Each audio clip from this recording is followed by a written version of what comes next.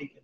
We're very honored and very pleased that you're able to work, take that time out of your schedule. I know you're busy to come and talk with us today. So with that, I'm going to turn it over to AJ and, and he can explain more what he's doing. Thank you, Dave. Yeah, we're live now. Moving down.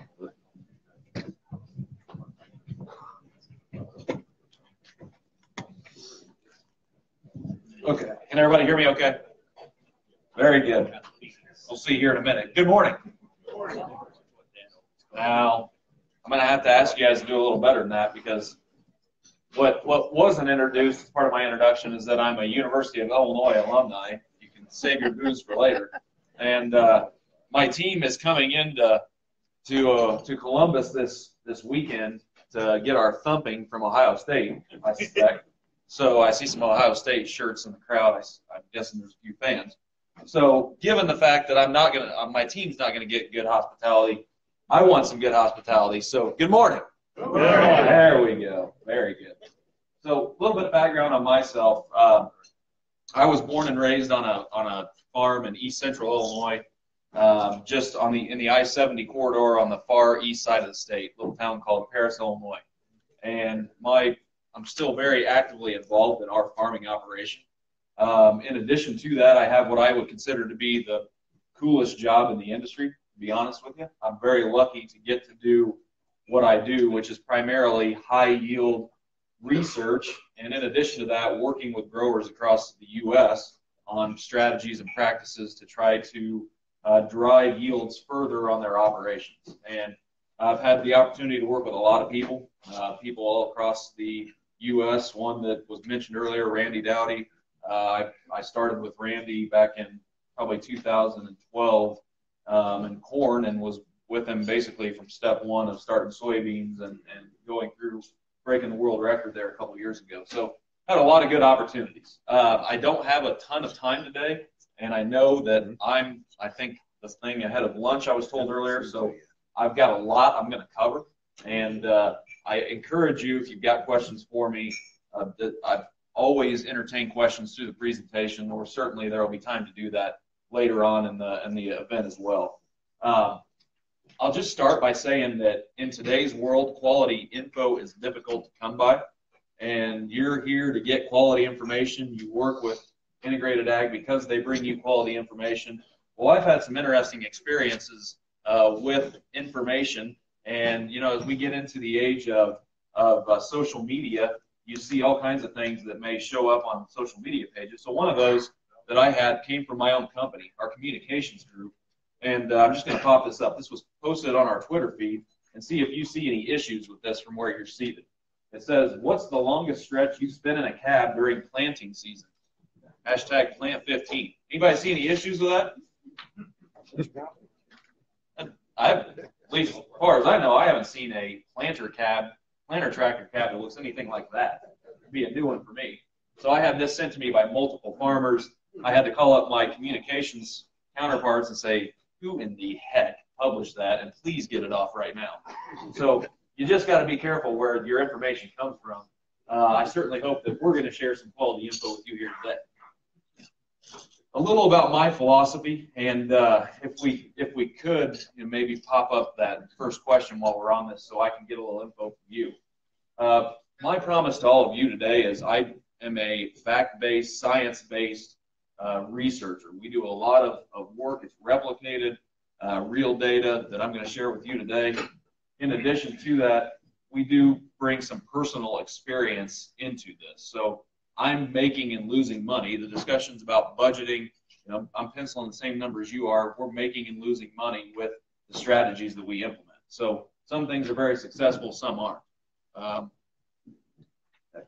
so, you know, one perspective of mine, I guess, is that uh, as you look at soybeans and soybean management, uh, there's there's two things that you'll find from me and, and my and my guess my philosophies.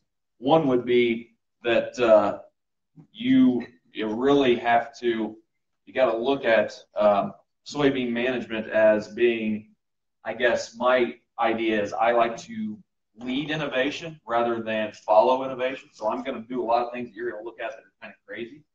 And uh, I guess my perspective would be to help as we kind of go through this to understand where we sit as a group in terms of our yield. So I just asked kind of here to pop up where our soybean yields are as collectively as a group, because you really have to look at yourself and define what is success for you. Uh, success for you may be a lot different than success for an operation in uh, in Georgia or in, in Central Illinois. So it looks like the majority of the room is somewhere between 55 and 65 bushel soybeans on average across the farm. It's not bad. Very good yields. So uh, kudos to all of you in the room for that. Now, just because something does or does not work for me doesn't mean that it is or is not going to work for you.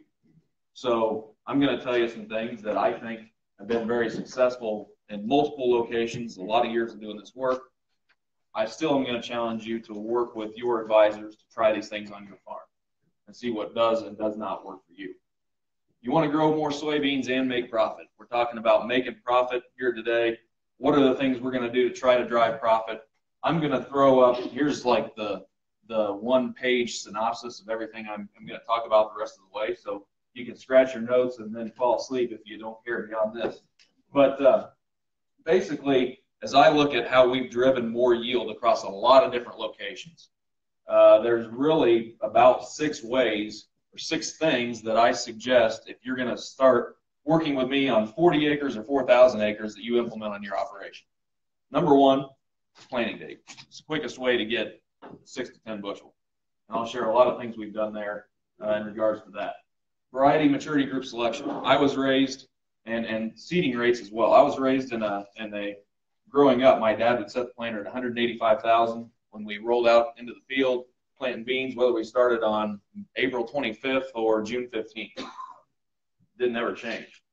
Um, that's not necessarily the way that we have seen success in our practices. We've seen more success by being kind of dynamic in our in our soybean practices, not static, but dynamic based on the environmental conditions that we get. You got to be willing to make adjustments seed treatments and inoculants, obviously, if I'm going to tell you and talk about planting earlier, I'm going to also tell you that seed treatments are a part of that story. I also have, we've done a lot of work with, with inoculants as we pushed higher yielding environments. And one of the things that we tapped into with, with Randy is we went over 100 bushel soybeans and, and realized how much nitrogen it took to do that. We started actually double inoculating them. But as you push yields higher and higher, it's a tremendous amount of nitrogen that's required to do that for a soybean crop. Even at 60 bushel beans, you're using as much nitrogen as 225 bushel corn. A lot of people don't know that. Residual herbicides, I'm not going to spend a lot of time on this one. If you're not using residual herbicides, please start doing it. Uh, everywhere I go, weeds are, are a disaster. Weeds don't make you. So we got to manage weeds. And then finally, uh, the other one that I would say has become a standard practice in the high yield profitable management system is the plant health, fungicide, and insecticide. We've seen consistent responses as we push yields further in that sort of management practice. I've got a bucket with a lot of others. Um, I won't get to dive into a lot of that today, but if you've got questions about it, uh, that's probably where I get a lot of my questions uh, in regards to foliar fertilization, tissue testing, uh, putting down soil fertility ahead of soybeans, uh, row spacing. A lot of those aspects kind of fit into the others we're doing research on all that and trying to help answer and, and understand how those practices fit into this profitable high management system. Some of that is it, it, it, it differs based on, on your environment and your, your uh, yield levels. So if you take nothing else away from my presentation, this is probably one of the most important slides. Soybeans are light harvesters. It's all about harvesting as much light as possible throughout the growing season. And I will tell you, Raise your hand if you've ever seen a soybean plant abort a flower or pod. Pretty much everybody's seen that. But if you haven't, you're lying to me, and uh, and I don't I don't like to hear that happening. So it's a it's a source limited crop. It's going to throw way more flowers and pods on it than it's ever going to keep. The way we try to keep as much as possible is by acquiring as much sunlight as possible through the year. The other thing I'm going to tell you that we've really tried to drive towards is getting maximum light interception. So June 21st, longest day of the year, uh, longest, most light interceptions occurring there. We're trying to drive our soybeans into the reproductive stages by that date. So anywhere from R1 to typically R2, Um, that's when soybeans are going to grow from about here where they're kind of still fun to walk through to up here where they're not as much fun anymore. We're trying to drive light interception, maximum light interception in those stages because of how critical photosynthesis is from R1 to R3. And I'll show you some examples of how we're trying to do that. So three ways that, that we can get more yield in soybeans. These are the only three ways we can do it. And uh, I'll give you a one quick story here.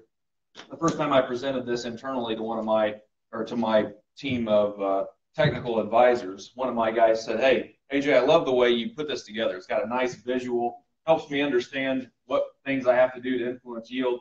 But I got a real problem with that picture in the middle there because there's a guy with a, a denim Wrangler shirt, pearl snap.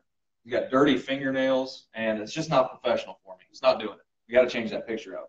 I said, Jared, I appreciate your feedback, but I got to tell you, that guy in that picture is my dad, and uh, he's holding a five bean pod from my farm. So, my friend, that picture is not going away anytime soon. that was an insert foot in mouth opportunity for him. We all get those at some point in time. But these are the three ways we're going to influence yield. We have to understand how the practices that we're putting into place influence these factors. And if it's not influencing these three, it doesn't belong there. I'll talk a little bit about uh, which of these these factors or these uh, pieces of that puzzle are easiest to influence. There are some that are easier to influence for more yield than others. We'll get there here in a little bit. So as we look at kind of building a system and how we manage for more yield, the first way we've done this is through planting. And I'll give you uh, my historical perspective on this. I was, as I went through agronomy school, I was always taught, and tell me if you've heard something similar, that you don't plant soybeans until soil temperatures are 50 degrees in the first 24 hours. Heard that before? That was pretty common, a pretty common uh, theme that that the, the concern, I guess, was that in the first 24 hours, you're in the imbibitional phase. So I'll give you an, an example of what the imbibitional phase might be like. I was in Nashville giving a presentation on a Saturday, and uh, some uh, after I finished, one of my co-presenters, it was my birthday. He said, "Hey, let's go over to this place across the road and just have a celebratory drink after we finish." I got over there, and uh, he had three shots of different liquors lined up waiting for me. So it was my birthday, and he put me in the imbibitional phase that I had to take those whether I wanted to or not. That was unfortunate for me because my night ended very early. Um, soybeans are in the same situation. They will drink water whether it's 35 degrees or 75 degrees. They're gonna they're gonna do that in the first 24 hours. After the first 24, go into the osmotic phase. That's less of a concern. Now, here's the issue. Do you think, if I'm going to tell you to plant earlier, that there's going to be times where we're pushing into soil temperatures less than 50 degrees? Probably is going to be. So we needed to help help understand and, and see whether technology today and varieties could handle this differently than they had in the past. Because that's going to be a, a key aspect to, to making this work. The other thing that we needed to understand uh, I don't, I'm not showing the corn research today, but we've done a lot of, of work on uniformity of emergence in corn and have found that typically you want to get all your plants up within 48 hours of each other in, in a corn scenario because after 48 hours becomes somewhat like a weed. We needed to understand how that impact or that influence would happen in soybeans. Did uniformity of emergence matter? Because if we were planting earlier, we probably were going to have issues with uniformity of emergence. So we did uh, some work here. Let me see if I can get the laser pointer. Where we put out golf tees based on different timings of emergence, a different color of golf tee, and we went out there every 12 hours and marked new emergence. What we found in soybeans is it was very different than corn. It took five days for uh, differential in emergence for yield impact to occur. So that was a good thing, I guess, in some regards, that we had more wiggle room and weren't as dependent on uniform emergence as we would be in corn. Okay, so we had all these things kind of going for us. We started in 2015, so our research site is just outside of Champaign, so latitude, longitude were pretty similar to where we're sitting here today. And, uh, you know, at, at, when I first started kind of doing this research probably eight or nine years ago, a lot of the farmers that I would work with would say, AJ, I mean, I hear you. I, I, I sort of believe you, but there's three issues here. Number one, I don't plant soybeans until I finish planting corn. Number two, I really don't want to plant soybeans until I can wear shorts in the planter. And number three, I also don't like to plant soybeans till I can sit my bare behind on the ground for some unforeseen amount of time. I, I never understood that one, but I get that one pretty. So in 2015, we had consistently been seeing uh, some benefit to these late April planting dates. We decided to push the envelope a little further and go to April 1st, just to try it out and see what happens. Well, it just so happened the short synopsis is that uh, we got a couple frost events on on that planting date after emergence. Uh, we planted corn on the same date. Our corn planting date on April 1st was the worst of, of any in that particular year. Um, and the soybeans were, were the best. And those frost events frosted off 10 to 15 percent of the corn plants above um, soil level, and soybeans it, it barely bothered them at all. So after doing kind of multiple years of this work, I found that if you go below at 28 degrees, you're in, you're, you got some problems in soybeans. If you're from 28 to 32, you can actually tolerate that pretty well. So risk and reward associated with this, but the reward in this particular year was more yield. And I'm a big person believing in if I'm going to share information with you, I better provide some science so that it makes sense as to why we're seeing what we're seeing. And one of the things that, that we knew about soybeans was that uh, they're photoperiod dependent, right? So what does that mean? Well, it means as you get past the longest day of the year, as your day length starts shortening, that soybeans would flower based upon maturity group. The earlier maturity groups would flower first. Well, if that was the truth, or if that was the, the total case, you would expect that if you planted earlier, all that would really do for you is extend vegetative growth. Right? That a fair fair assessment? That was our assumption. Well, um, probably one of the worst jobs to have is one of my interns, because they get a lot of tough projects. So if you ever want demoted, uh, that's that's the place to be.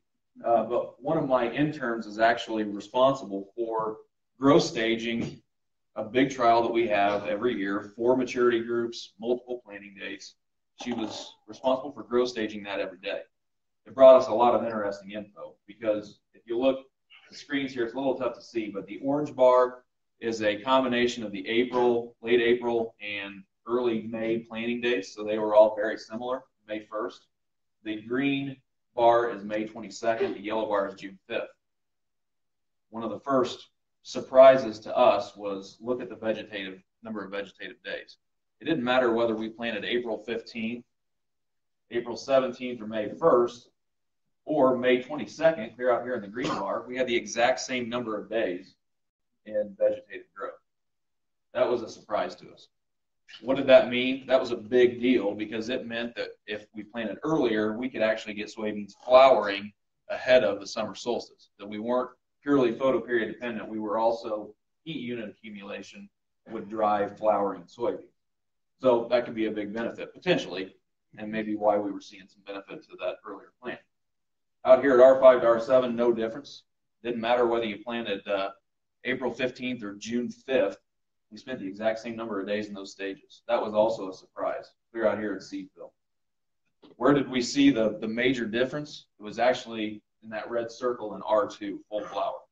So we picked up an additional eight to 10 days in that stage.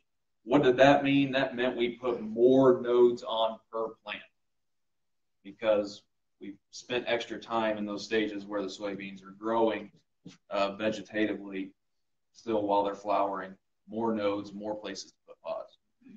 So these are all very uh, important things to understand um, as we move forward and, and try to see, understand the science of why we might be seeing these earlier planting dates being beneficial.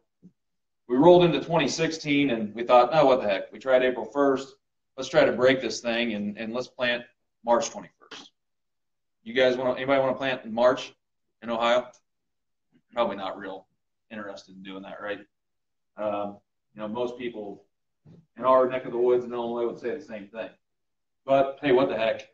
I got free seed. If it, if it messes up, I just do it again. So it's worth trying. Um, the interesting thing was planted May March 21st.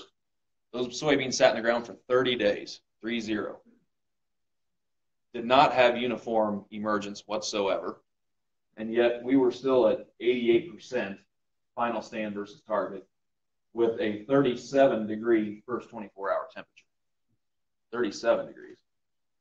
Now, if I was going to tell you how you want to go plant into sub 40 degree soil temperatures, you probably wouldn't think that was a really great idea initially, would you?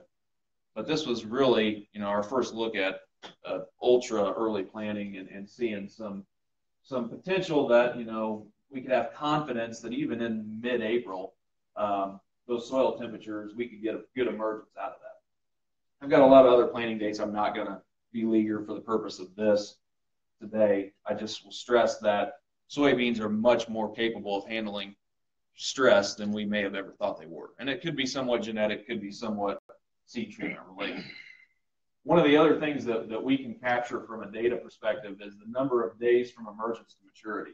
So why might this be important? Well, I've already told you we're trying to intercept as much light as possible, capture as much source as we can. And if we can extend the amount of time that those soybeans are out there in the field, potentially that allows us to extend the amount of light that we capture. So we see this trend here. This is an average across four maturity groups at each of our planting dates. Um, these would be maturity ranges from the late twos to a late three, basically, in this particular case.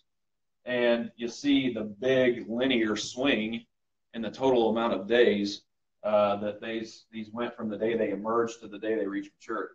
Interestingly, when we overlay the yield data to that, it correlated almost um, almost exact to that. And in this case, in 2016, that was almost a 24 bushel swing from top to bottom. 24 bushel, that'll make you make you want to think about doing something different um, for for a 24 bushel gain. These March beans, what happened with those? Well, you know, one of the big challenges I've always had in soybean management is maintaining pod clusters on top of the plant. It's a real challenge to keep those clusters. We can grow the flowers, start the pods, but keeping them is a challenge. But that's a tremendous amount of yield that can be captured there. That's something I see frequently when I'm down with Randy or down in with some of the high yield guys in Arkansas. They maintain those pods up top. How could we do that? Well, this was really the first time in this particular case I was able to maintain those pods on top of the plant. And lo and behold, for two years in a row, the crazy early planting was our best beans. What the heck? Man, never would think that this, I never thought this had a chance to make it.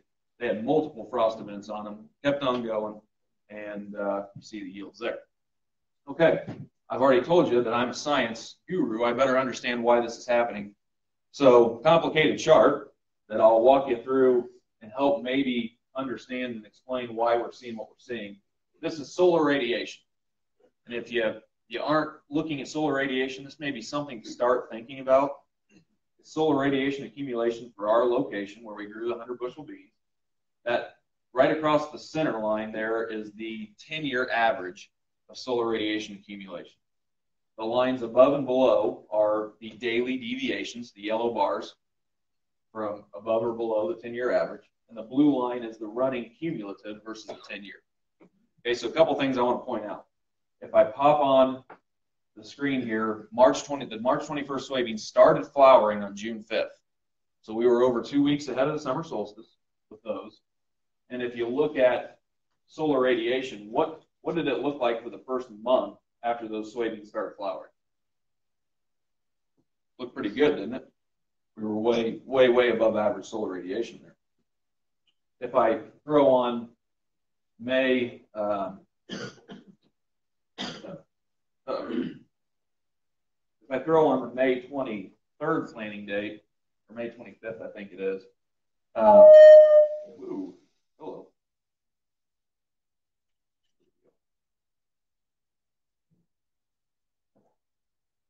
Throw that up there. They started flowering on about July 11th. Okay, July 11th. What happened for the first month after the May 23rd started flowering? We're in R1. We were way below, way below on solar radiation. There was a 25 bushels difference between those two planting days. Could light interception in the early R stages and early flowering on those soybeans have made a big difference in this case? I'm going to argue it did. That this solar radiation was the driver and why we saw what we saw there. In 2017, this past year, I was in North Carolina second week in February, and I got a call from our site manager. She said, AJ, I don't even know if I want to tell you this, but it's getting close to being okay. Okay, it's getting close to being uh, dry enough for us to be able to possibly plant some beans. So I thought, well, first I started getting kind of a twitch because I was in North Carolina. I knew that I didn't have the planter set up and I didn't have the seed or any treated seed. This was a problem. So I rushed back, cut my meeting short, got back home. Uh, we got ramped up to go, got the planter ready, went out. I was in a just a long sleeve shirt. It was about 70 degrees that day. We planted on February 19th. Anybody want to plant beans in February? Oh, now this, this is truly crazy, but we were doing it to try to really push the envelope and, and again look at the scientific side of things and what you know could we break or reach a breaking point by pushing it this planting early. So March 13th it snowed. We had snow on the ground for several days. At uh, our soil temperatures at two inches after that snow event dipped below 30 degrees. I went out to try to have a rest in peace party for my beans because I said we finally broken it, and I couldn't even dig them up because it was frozen. So I had to wait, and then lo and behold, 50, five zero days after we planted, they started coming out of the ground. Five zero, 50. And I thought, no, apparently I'm never going to break this thing because uh, this I never thought this had a chance to work. Now, granted, we still have a long ways to go because I anticipated getting a, a frost, a hard frost after these emerged. Uh, just so happened that we didn't in, in 2017. So, a word of advice. I'm going to tell you that I manage, I'm a big proponent of managing seeding rates if you plant earlier. I like actually to see lower seeding rates, and we'll talk a little bit about that in, in a bit. But if you're going to plant in February, uh, I planted 110, 125, and 160,000. Don't plant 110,000 in February because believe it or not, if beans sit in the ground for 50 days, you will get some attrition. You will actually lose some beans. So uh, we we lost a little bit of stand versus what we targeted. We were at about 49% across our three populations, but the beauty was we could still harvest them. We had final stands at the low end at about 45,000, at the high end at about 90,000. And we got these things, got to watch them all the way through harvest. Uh, you can see I have a lot of other planting dates there. The one other one I would point out, we planted March 22nd again. So another late March planting date. We were out there in literally coveralls and face masks. It was so cold that day. And it was 35 degrees in the first 24 hours, and guess what? 83% final stand versus target. 35 degrees in the first 24 hours. It was cold after we planted those. We had actually had six growers in central Illinois go commercially plant beans on March 23rd and March 24th, um, based on what they had seen uh, in our research and gave it a shot. And several of those guys had their highest yielding fields come out of that planting date. So it was kind of neat to see it. It's obviously a risk, big risk, but um, in today's environment, treated seed and potentially free replant, there, were, there was the reward and the risk was the was the balance there. So similar situation here, number of days from emergence to maturity. You see the trend in 2017. The yield swing wasn't as big as it was in 16.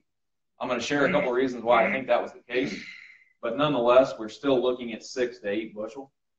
And for two years in a row, not that I'm I'm not I'm not advocating. Don't walk out of here saying AJ said go plant in March. that's a decision for your own farm.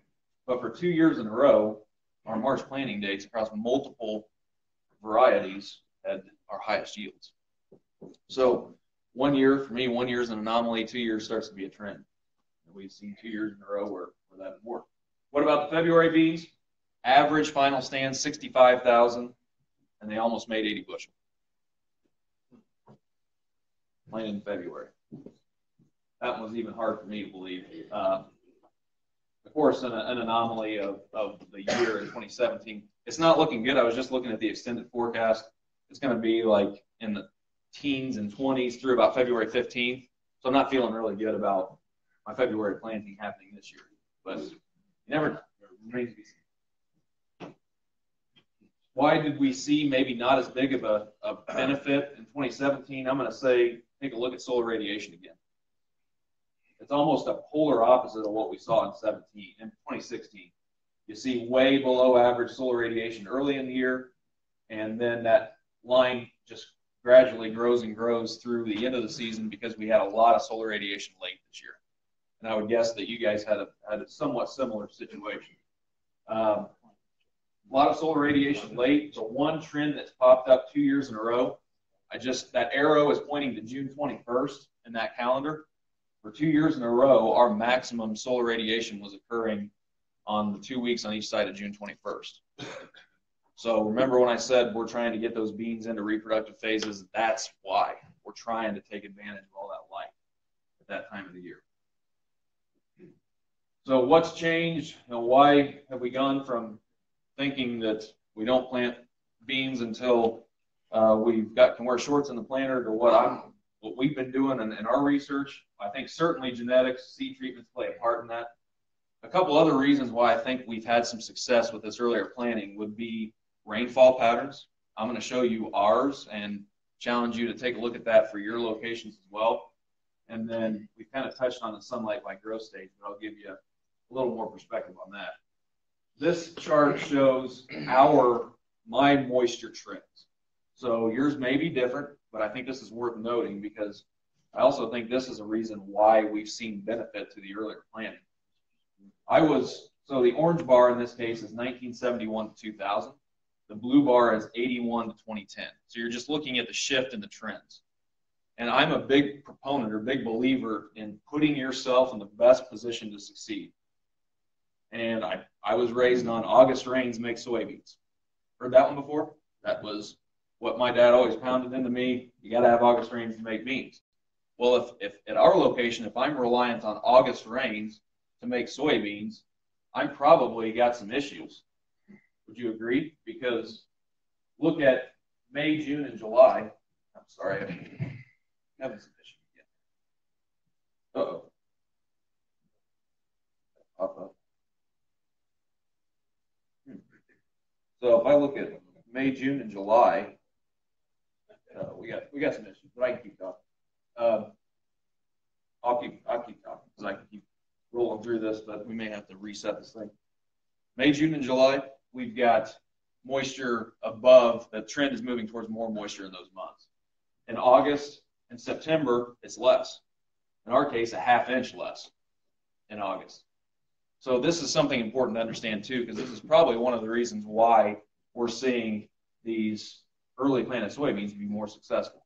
My next slide is uh, is actually looking at the different growth stages that we get those beans to by June 21st based on planting date.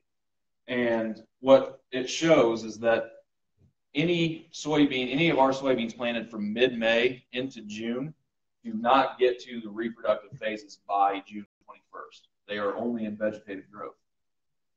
Now, if we plant in April, um, so mid to late April, all of those beans at least get into the R1 stage by June 21st. So we're, and that's regardless of, we have maturity ranges going all the way to a group four, early group four, and all of those got into at least R1. When we, and many of them actually got into R2. And our kind of extreme dates, there we go. Our extreme dates, um, here we go. Okay, so now you see the white, the the white, that's all vegetative growth where we've got the white in the boxes there in the May and June. When we're at April, you see R1, the, blue, the yellow is R1, the blues are R2. So this is June 21st, and we've got everything at least R1, a lot of them in R2. When you go to the very extreme of, you know, probably not realistic, but just to give you a perspective, our February beans actually started flowering in May, May 31st and we were spraying our R3 fungicide applications on June 21st. So it just gives you an idea and why, you know, pair it with the sunlight, why I think that piece of the puzzle is really important. Okay, I'm going to transition here and talk about a few other pieces of this puzzle that you know I mentioned it's a dynamic system. It's not static. I'm not going to touch a lot on variety selection. I have a lot of opinions on that, um, and your maturity ranges probably aren't too far from a lot of what we plant. So if you want to catch me one off, we can do that. But for the most part, you guys, you know, you know your varieties better than I do for this location. What I do want to show you a little bit of info on is uh, row spacing, plant population, and maturity groups, and how we make those selections or adjustments based on when we're able to plant. So I'm a, a big proponent of early planting is lower seeding. And it goes against counterintuitive to what a lot of people historically think. But the issue, anybody ever have any issue with beans lodging, falling over? It's probably, it drives me crazy. This, uh, this is the one thing that, that uh, I hate more than anything else is beans falling over for me having to walk through them and for what it causes a yield loss. So one of the ways that we try to manage lodging is lower seeding rates early. And the reason being, if you get too high of seeding rates, those plants are trying to outgrow each other. You get spindly stalks. They grow taller, taller, and taller, and then they lodge. If you can lower seeding rates, you get bigger, bigger stems on those plants. You're putting more nodes on per plant than you plant earlier. So you've got that benefit going for you, and you can somewhat, you may not alleviate lodging, but you can somewhat reduce it. As you move into later, later into the year, I'm going to call mid planting, say from about May 10th to May 25th, and then late planting, you know, anything as we get into June. You're just continuously raising those seeding rates as you go because later planted beans don't put on as many nodes per plant. You got to make up for fewer nodes by putting more plants out there as you get later. In terms of maturity group, what we found, and I'll show you some data here in just a minute, plant early long season beans. We've continuously found for us that longer season beans planted earlier gives more yield. Now, if you're getting a harvest premium or uh, getting some beans hauled in in early September, then it's a different situation. But uh, economics comes into play there. But uh, in terms of purely on the yield perspective, that's the trend that we have seen if we have a year where we can't plant until May 15th, it rains all of April, this happens. I know multiple years on our farm, we can't plant till Memorial Day, it seems like. It just rains and rains and rains. In that scenario, our opinion or our data shows that we see very little difference between our mid or our early season beans and our long season beans. So in that planting range, we're going to start with our early season beans. And if we get the reason being because as we get later, so into late May and early June, the long season beans come back to show a more benefit. So we're going to finish up with long season in that case. But early planted, our trend has been for um, higher yields with our longer season beans. Let me show you a little bit of data on, on uh, seeding rates here quick, and then in a minute I'll have them post up another question on row spacing. But in 2016, our research was all done in 30 inch rows. All right, in 17, we added 15s.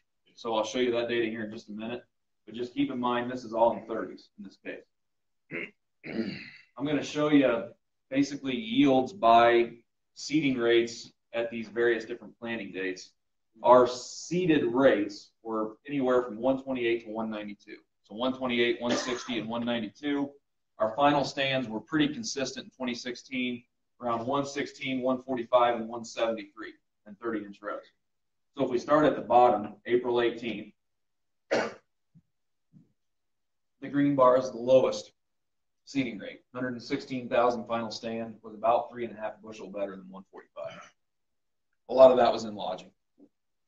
The higher stands lodged anywhere from a week to two weeks earlier than the lower stands. And in that yield environment, uh, that made a big difference.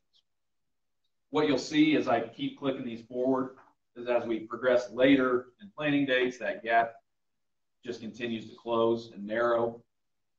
Um, and by the time we get up to June, we see that we flip flopped and the, the best yields are coming from our higher seeding rates in that case. So there's 30 inch rows. And the one thing I'll say about population I uh, we farm in very extremely variable soil types at home. So we may have four or five soil types. They go anything from pretty good uh, lighter timber soils that we can raise 85 bushel beans to in the same field a knob that raises no better than 40 bushel beans.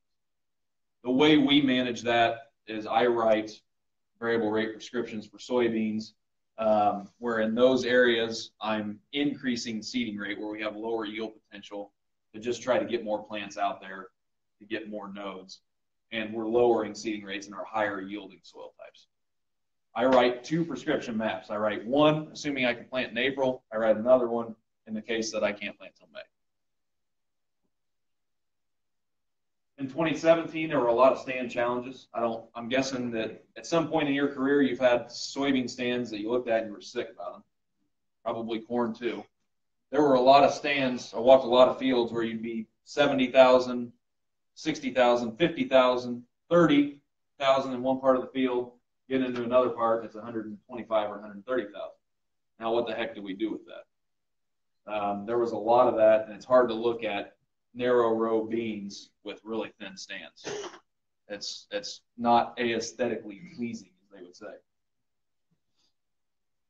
What we discovered in, in our uh, in our first year of doing replicated work with 15 inch rows versus 30s, that the 15 inch rows with the exact same seeding rates tended to have anywhere between 10 and 20% lower final stands than 30 inch rows. And it's, it's all physics. It's 30s, you got more friends right next to you that help push through a crust, and 15s, you don't have as many friends. So, and, and if you are someone who is bothered by thin stands and you plant narrower rows, you're probably going to want to have higher seeding rates than you would in the 30. Now, where I might say in a good yield environment in 30s, we may go to 120 planted stand. In 15s, that number might be 140 or 145, for example. Now, I'm going to show you the yield data in a minute, and it's going to just basically refute everything I just told you. But uh, but that's that's just if you're the kind of person who doesn't like to look at thin, look at thin. Um, can we at some point here pop up that that question too on row spacing. I'd be interested to see that. I'll keep kind of showing some slides as they bring that up. But uh, 2017, we added 15 inch rows and we dropped to just two seeding rates because of the addition of the narrow the narrow row beans in there. I'm very curious about row spacing in, in the root too. So if you don't mind, take a quick minute and just let us know where you're at on row spacing in soybeans the 30 inch row beans, as I kind of click this slide forward here, we had 128 and 155 planted stands in both 30s and 15s. I've got the final stands in each of the bars because in 2017 our final stands differed a lot based on planting date.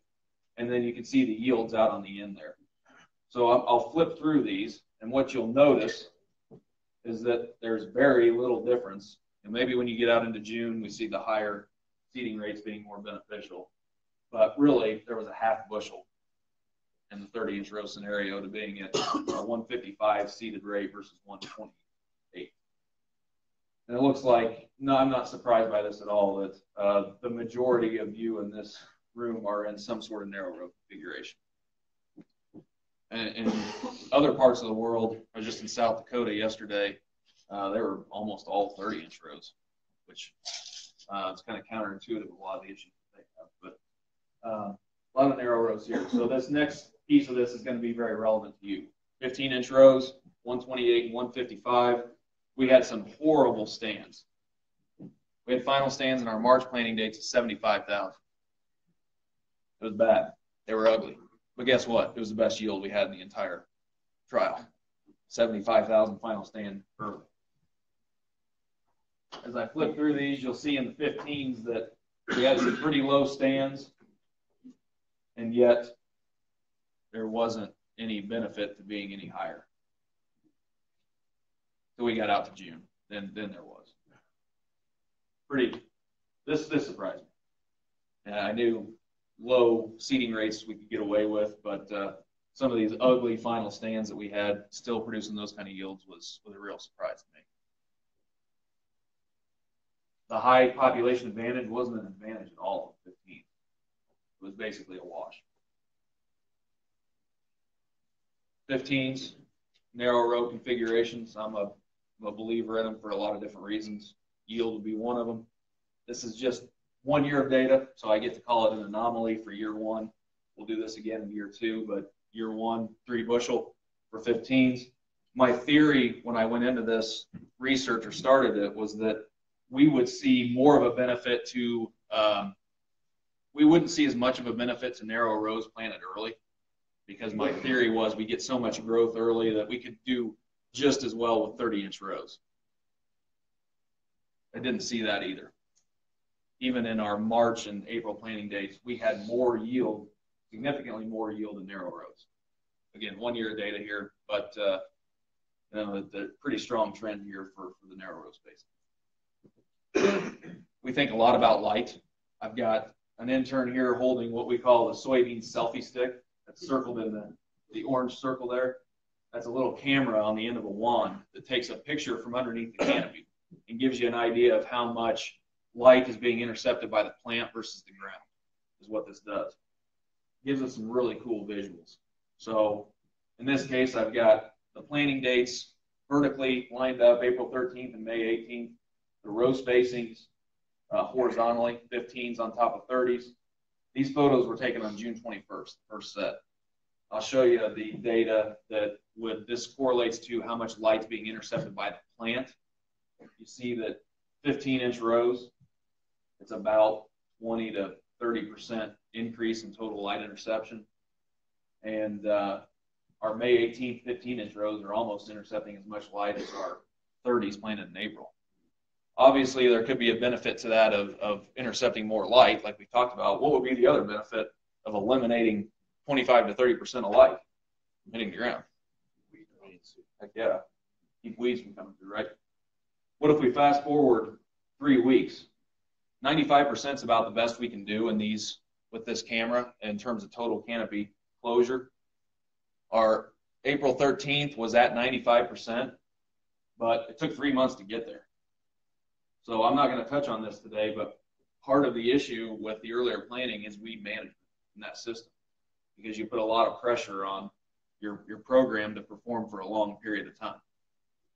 You look at the May 18th 15 inch rows, they've actually lapped over the early planted 30s in terms of total light interception.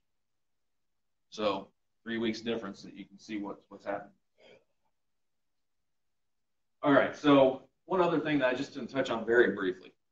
I had a lot of questions. You guys have probably dealt with it as well about when you've got a really thin stand, should you interseed? Should you start over or should you leave it? Anybody ever had that decision to make? Makes you want to beat your head on a wall, doesn't it? You got to do it. Well, because we had a planting date that had some really, really horrible stands in May due to crusting, we took that and we actually interseeded, left some really low stands, interseeded into some others, and then planted a whole nother planting date to simulate a total replant. I'm going to show you that data here real quick.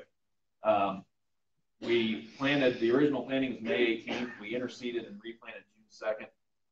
The bottom line is if you look in the lower end on the 30 inch rows, there's not a lot of 30 inch row guys here, but for those that are, in the 30s, it actually gave us a yield benefit to split them and turn them into 15s.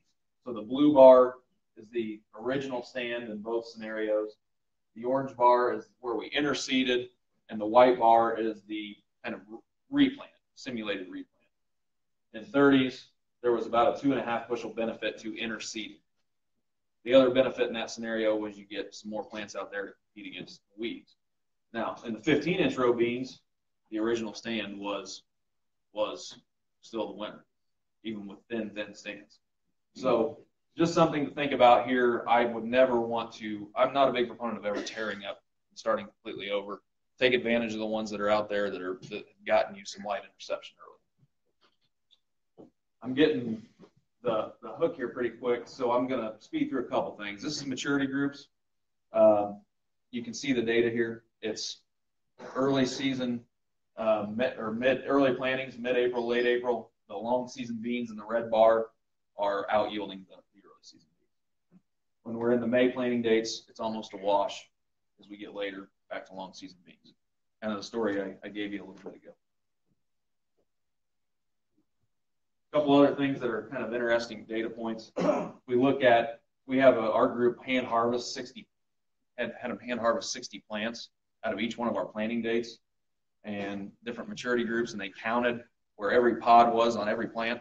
Talk about not wanting to meet somebody in a dark alley. I don't want to meet those two guys because they counted plants from September to, to Christmas, hand, hand counted. Uh, interesting things that came out of that. You see the, the decrease in total nodes per plant as you plant later. You don't get as many nodes per plant. Why we make up with it, make up for it with more plants. Also, look at average seeds per pod. No difference based on planting date. You can't. We, we have done all kinds of stuff to try to influence seeds per pod. Very, very difficult to do. Focus more on getting more pods and getting bigger seeds. Nodes 5 through 16 give you 80 to 85% of your yield, the middle of the plant. That also came from all of the hand counting of, of pods. So if you're going to look at an area you want to protect, that's the part of the plant you want to protect. Because when this happens, it's, it's a bad day. When I was riding with Randy Dowdy this summer, I noticed his fields in Georgia were very clean, very little insect feeding. I said, Randy, what's your threshold for making a treatment? He stopped the truck. He's a bit of an intimidating guy, and he said, AJ, no, it's it's one. I, I don't want any bugs out there. I said, okay, makes sense. so he's big into managing managing pests. Uh, when you lose pods, it's not a good day. Doesn't take much seed weight. Mm-hmm. It doesn't take much seed weight to get more yield. Two milligram increase in seed weight will give you a bushel. A dollar bill weighs a thousand milligrams. Put that in perspective. Doesn't take much. Just keep the plants green as long as you can, and get as much photosynthetic activity as you can out of them. So this can be done with agronomics. It can be done with some products as well. This was a, a, a NDVI we took before we had sprayed some fungicide this year on a 50 variety trial. We were planning to spray the bottom half of this with Priaxor Fastac. When I looked at this first image, I thought there's sure not much going for us here. The south half doesn't look as good. But we went ahead and sprayed the south half. About 10 days later, came back and flew again in late August, and you can see what a difference that made in the, in the health. That's how we get more seed weight. That's how we're trying to drive you know, long season photosynthetic activity.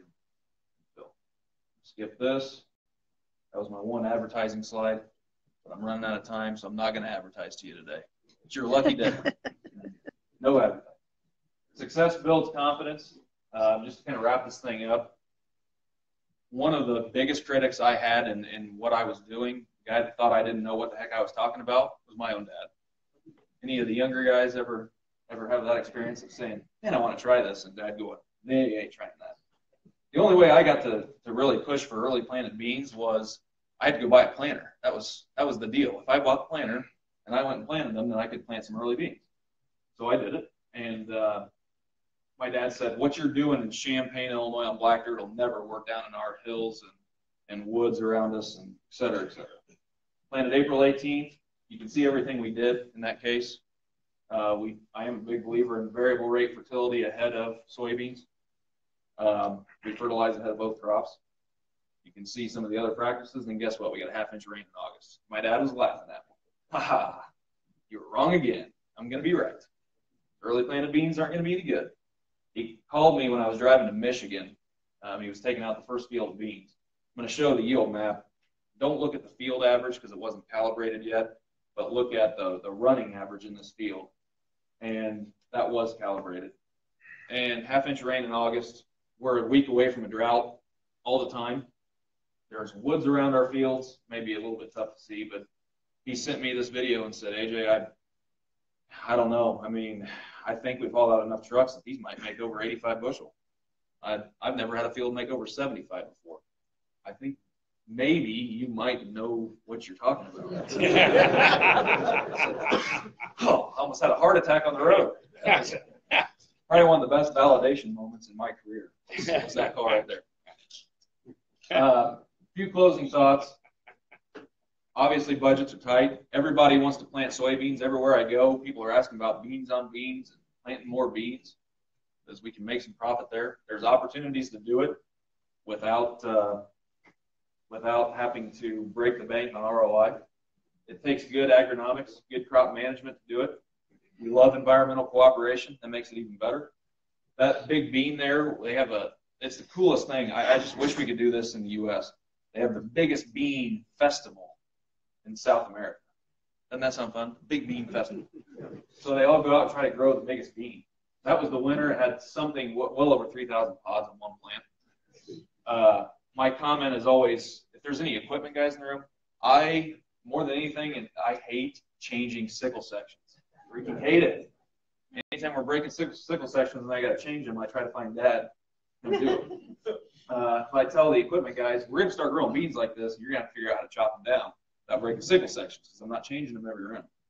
So, uh, kind of a joke, but at the same time, there's potential in these soybeans through management. Last slide. We started planting for 2018. It happened in 2017. We put some beans in the ground on December 4th. So if we don't break it this time, I'm out. I don't know. I give up. I think we're going to break it. But we did we did some work with some experimental polymers. Uh, we're going to try a few things, so stay tuned. If you see me again down the road, I'll let you know how the December beans turned out. so I hope you took a few things away. I know I jetted through a lot there. Appreciate your attentiveness and time. I'll turn it back over to Dave.